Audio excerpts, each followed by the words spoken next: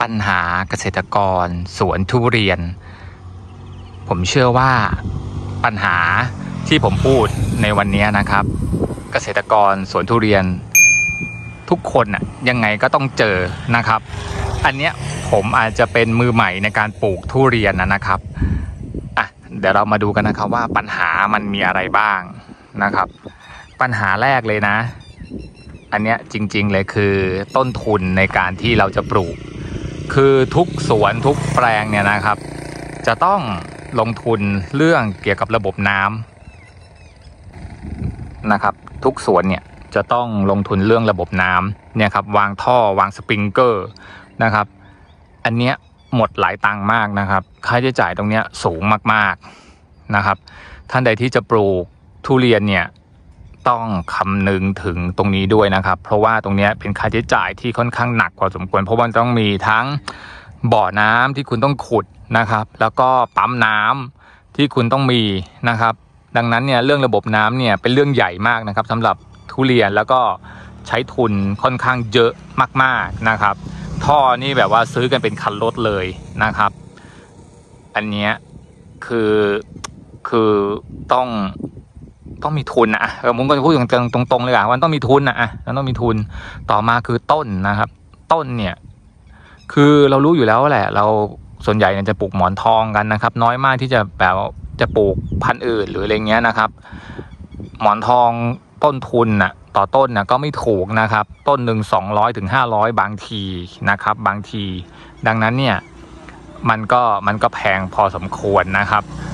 ทุกอย่างมันมันเป็นต้นทุนนี่คือปัญหาเลยนะ คือถ้าพื้นที่ของใครที่แบบว่ามันเหมาะกับการปลูกทุเรียนเนี่ย ตรงนี้ก็จะประหยัดต้นทุนไปพอสมควรนะ แต่ส่วนใหญ่อะจะเจอปัญหาแบบนี้อยู่แล้วมันเป็นที่ราบนะครับ ดังนั้นเนี่ยการที่เราต้องใช้ทุนเยอะๆเนี่ยมันมันมีอยู่แล้วทุกคนเรื่องระบบน้ำเรื่องต้นนะครับ แล้วก็อีกหนึ่งปัญหาเลยนะ อันนี้เป็นปัญหาหลักๆเลยนะครับ คือน้ำ ทุเรียนใช้น้ำเยอะจริง ๆ ผมมองว่าอดีตเนี่ยปาล์มอาจจะใช้น้ำเยอะแล้วนะ ทุเรียนใช้น้ำเยอะกว่าอีกครับ เพราะว่าคุณต้องเปิดน้ำเนี่ยสปริงเกอร์เนี่ยทุกเช้านะครับ และบางรอบถ้าแบบว่ามันแรงมากๆเนี่ยตอนช่วงเย็นก็ต้องเปิดอีกรอบนะครับ ดังนั้นน่ะน้ำอะสำหรับทุเรียนอะสำคัญมากๆนะครับ เพราะว่าถ้าคุณเปิด หรือว่าให้น้ำได้ไม่เพียงพอเนี่ยใบเหลืองหรือใบ เนี่ยมันมันตายครับมันเหี่ยว หรือว่ากิ่งมันแห้งเนี่ย มันก็จะเกิดปัญหาแล้วก็มันจะเป็นค่าใช้จ่ายของเรานะครับ เนี่ยครับคือคือปัญหาเลย และ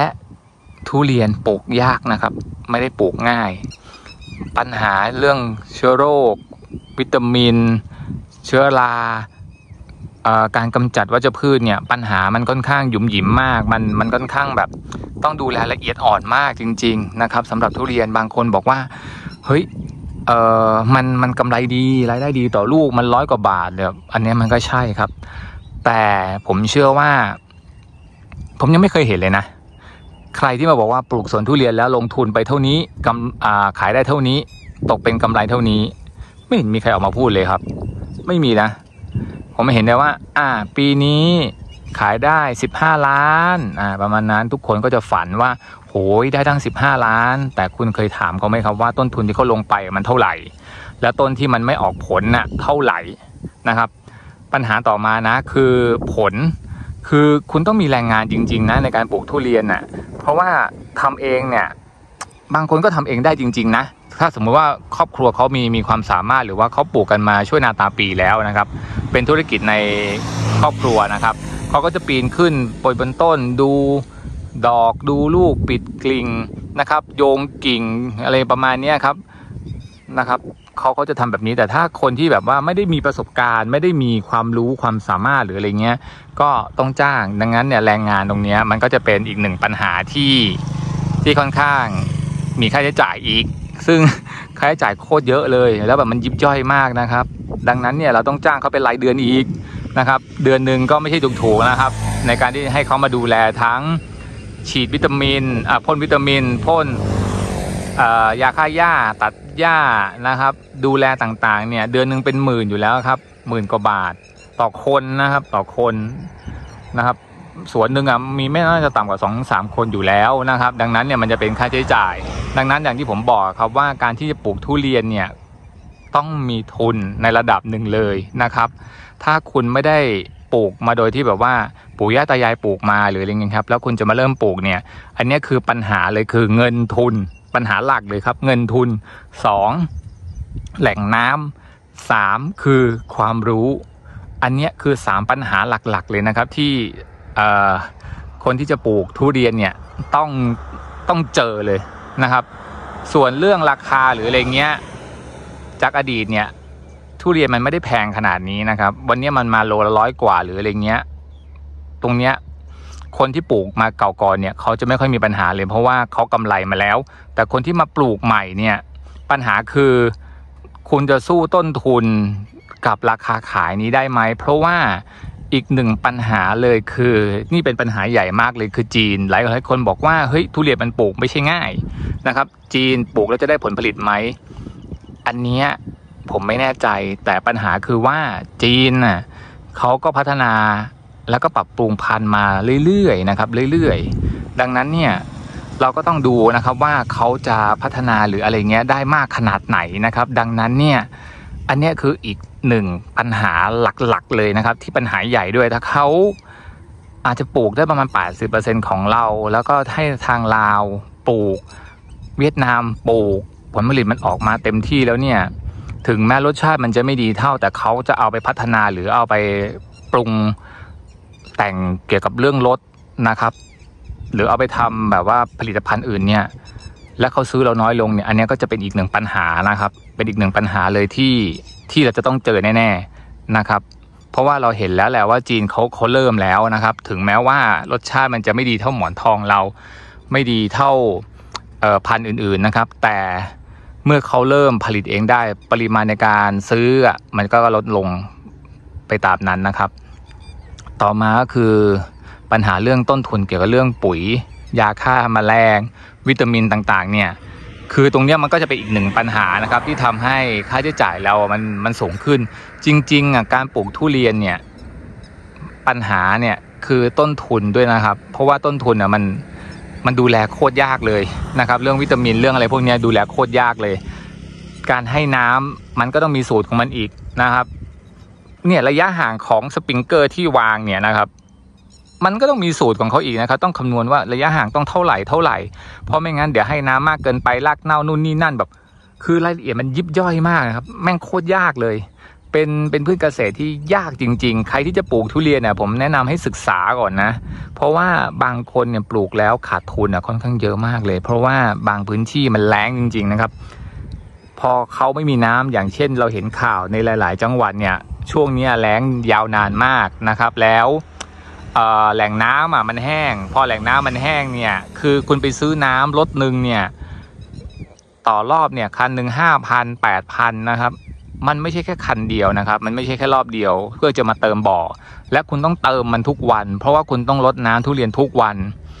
บางคนทุนไม่พออย่างเงี้ยนะครับ ก็ต้องยอมให้ทุเรียนแห้งตายนะครับ เพราะว่าเขาสู้ค่าใช้จ่ายในการที่ซื้อน้ำจากรถน้ำไม่ไหว นะครับ อันเนี้ยปีเนี้ยเขาก็อาจจะขาดทุน คือต้นต้นทุเรียนตายเลยนะครับ หรือว่าเราให้น้ำไม่พอลูกก็เหี่ยวไม่เขาเรียกไม่ได้ใช่เหี่ยวเหมือนกับลูกมันเล็กอะไม่ได้ขนาดอีกนะครับ แล้วก็ล่วงลงมาเองก็มีนะครับ อันนี้คือผมเป็นมือใหม่นะ แล้วผมเจอนะครับ ในสวนของพักพวกที่เขาเมีผลผลิตแล้วนะครับเขาบอกว่าปีนี้คือหนักมากจริง ๆ เจอภัยแล้งแบบนี้คือคือโหดมาก นะครับและลากยาวๆแบบนี้คือผลผลิตที่ออกมาจากตลาดเนี่ย ถามว่าราคามันดีไหมมันดีแหละเพราะว่าปริมาณมันน้อย แต่สวนน่ะมันจะไม่คุ้ม เพราะว่ามันจะมีบางลูกที่มันมันเข้าเกณฑ์แค่นั้นเองนะครับ แต่ลูกที่มันไม่เข้าเกณฑ์อะเราจะอยู่ยังไงนะครับ ที่มันตกเกณฑ์แต่เราจะอยู่ยังไงนะครับ ดังนั้นเนี่ยคือหลายๆ คนมองแค่รายได้นะครับว่าเฮ้ยมันกิโลเท่านี้เท่านี้ แต่ลูกที่เขาแบบว่าเขาคัดตกเกตอะทำยังไง นะครับ อันนี้แหละฮะคือคือปัญหานะครับ ดังนั้นเนี่ยมันมันไม่สามารถที่จะกำหนดได้ครับว่าเฮ้ยเราจะปลูกทุเรียนทุกลูก มันจะต้องแบบว่าไซส์เดียวกันหมดเข้าเกรดแบบ A A A หมดอย่างเงี้ยมันมันเป็นไปไม่ได้มันก็ต้องมีแบบว่าเกรดที่มันตกหรือลูกมันเล็กบ้างอะไรบ้างอย่างเงี้ยนะครับ หรือว่าติดโรคบ้างหล่นก่อนบ้างหรือว่าอ่าภัยธรรมชาติหรืออย่างเงี้ยก็เป็นอีกหนึ่งปัญหานะครับ ที่แบบเวลาลูกมัน ออกแล้วหรืออะไรเงี้ย พอฝนตกหนักๆลมพัดแรงๆต้นล้มลูกหล่นจากต้นอย่างเงี้ยมันก็มีมันมันดูแลไม่ได้นะครับมันควบคุมไม่ได้ ดังนั้นเนี่ยการทำเกษตรมันยากตรงนี้แหละครับที่เกี่ยวกับเรื่องธรรมชาติหรืออะไรเงี้ยมันมันควบคุมไม่ได้จริง ๆ นะ คือมันวัดดวงจริง ๆ มันวัดดวงจริง ๆ คือมันปราบเซียนจริง ๆ คือบางทีคุณเห็นลูกแล้วอะเฮ้ยกำลังจะได้เงินแล้ว วันดีคืนดีสามสี่วันฝนมาพายุเข้า ล้มหมด ลูกหล่นจากต้น อันเนี้ยเจ๊งนะครับ ก็มีให้เห็นกันมาแล้ว ก็มีให้เห็นมาแล้วคือหล่นลงมาก็คือ คุณต้องเก็บใส่เข่งมันมันทำอะไรไม่ได้นะครับ ถามว่าไปขายได้ไหมอาจจะได้ แต่ราคามันมันไม่ดีเท่าที่แบบว่าเอออยู่บนต้นนะครับ ดังนั้นน่ะคืออันเนี้ยคือปัญหานะครับ ผมเชื่อว่ามันมีอีกหลายปัญหาสำหรับคนที่เคยปลูกมาก่อนแล้วนะครับ ดังนั้นเนี่ยท่านใดที่มีปัญหาที่ที่ผมไม่ได้พูดถึงเนี่ยคอมเมนต์ไว้ใต้คลิปนิดนึง เพราะว่าผมก็มือใหม่ในการปลูกทุเรียนเช่นกันนะครับ ผมก็อยากรู้ปัญหาที่มันเพิ่มเติมมากกว่านี้ เพื่อเป็นความรู้หรือเป็นข้อมูลให้กับคนที่จะปลูกทุเรียนนะครับ คืออย่าเห็นแค่รายได้นะครับว่า เฮ้ยสวนทุเรียนรายได้มันเยอะนะครับ แต่คุณต้องเห็นวิธีการที่เขาดูแลรักษานะครับ สวนด้วยแล้วก็ต้นทุนที่เขาลงไปด้วยนะครับ ดังนั้นเนี่ยคุณต้องเรียนรู้ปัญหาด้วยนะครับ ตรงนี้นะครับสำหรับสวนทุเรียนนะ เพราะตอนนี้ฟีเวอร์มากๆเลยใคร ๆ ก็พูดถึงการปลูกทุเรียนนะครับ ตรงนี้ก็ก็มาแชร์ปัญหาให้ให้ฟังกันนะครับ ขอบคุณครับ